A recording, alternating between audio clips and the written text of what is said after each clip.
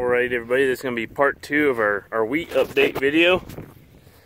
I'm out here on our planned graze out circle. Uh, this one we planted fully well, knowing we were going to graze out. 120 acres in total, uh, somewhere in there. We grazed it, I mean we grazed it down to the dirt. I mean there's, you know, we, it's probably down to about there, you know, just, just had the little bit of stuff left. Um, running 10 inch rows on our drill. Um, this has only been watered one time this spring. We're on our second time watering it. We're putting fertilizer down. And I pulled the cattle off probably about two weeks ago, three weeks ago now. And well, I got I got one out here. Well, I got a little chronic out here this is the best quarter of the field in, in my belief. a lot sandier.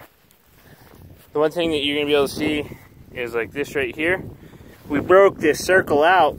Uh, this will be its second year in production. Uh, so we still have lots of the old sod and it the ground is super hard but I will be, I don't know if we'll see any grass come up this year. Out of these, we might.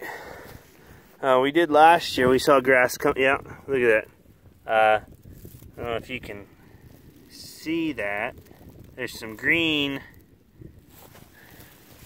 I don't know if the camera's picking it up. There's some green in these clods of dirt. Uh, yeah, there's there's some more of it. Look at that. So this uh, with this ground still being with so, you know you, you'd think that well there'd be a lot of organic matter because of the grass you know the roots and stuff like that. But that's actually uh, a big hindrance to us as far as our wheat going. Uh, the clods you know it's making everything super hard and cloddy. Uh, it just it's it makes it pretty difficult getting a crop coming up then especially a crop that'll really stool out, uh, it's difficult when we're planting it because to get the clods out, it pretty much has to be, you have to disc it a couple times where it's powder dry and our drill is so heavy and then, then you have deep ridges where you're planting uh, and it, you know, you get a problem with planting depth because the drill will sink in too much just because it is powder dry and it makes it hard to set it. So we will subsoil this circle again this year. Uh, just continually trying to break up the hard pan that's in here. We were gonna do it twice last year and we had started. We had started on it, but we started getting a lot of rain and they just, I, you couldn't get across it, about buried the tractor. Um, so, you know, just lots of, lots of clods like that. We will we'll subsoil it and disc it. And I have purchased a crumbler, a rolling basket to go behind my, I'm gonna, I've got it where I can, gonna get it where I can switch, put it behind my ripper. And then mainly just to go behind the disc to help break these up. So when it comes to, uh, comes to planting this, it'll be a better seed bed. When we kind of get away from the when we get away from the the problem of the clods, we with the ripper that we have, we can do a lot of uh, it, you know it's it's tillage, but it's you know they call it a no-till ripper, and it just leaves a tiny little crack if you're doing it right. We'll we'll do it where we can drag that crumbler behind it and seal up any trench or just kind of help level it out, and we'll just no-till everything in because you know we we're losing moisture every time we take a disc across the ground. And that's something we can't afford to do.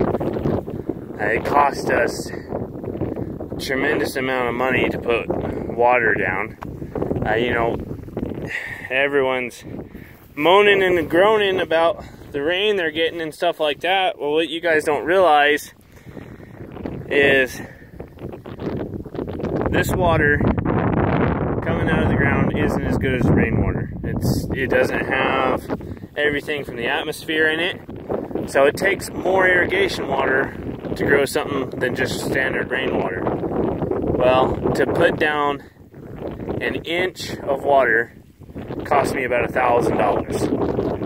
So you figure, you know, you figure you guys are getting rain. Well, this probably take a couple inches of irrigation water to equal one inch of rainwater. And it, it gets really expensive really quickly.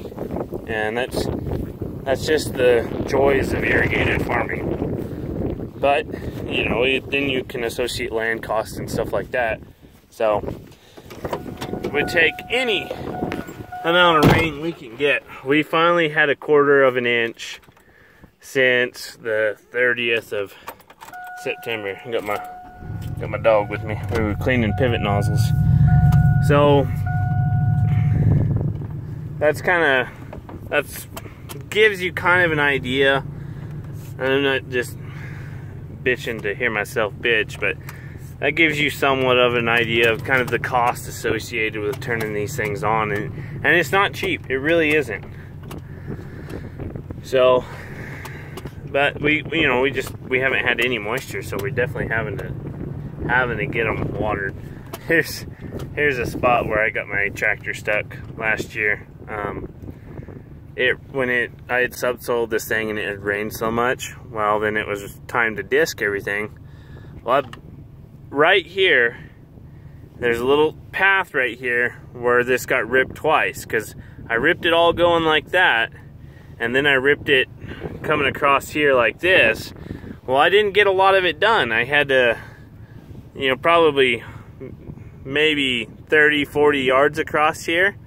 Well, I was coming across here disking and there, you know, just a little dampness and all of a sudden that tractor just dropped into its axles and I was just like oh man and it made one hell of a mess through here I got it smoothed out with a disc but uh yeah so uh, I definitely got the hard pan broke up for at least you know 30 yards across here I'll go check my calf um this we we can I mean we can turn calves out anytime but we're gonna probably into next week we'll start turning calves out. A little bit of water there. Just a running. Quite a bit of water running around here. Let's see how many holes I can make. So this is a, a chronic calf, and she got mycoplasma. And I mean, she's nice front end on her. She's all sunk in in the back end. So she's just gonna live out here for the next several months till she gets better. But anyways, that's what this circle looks like.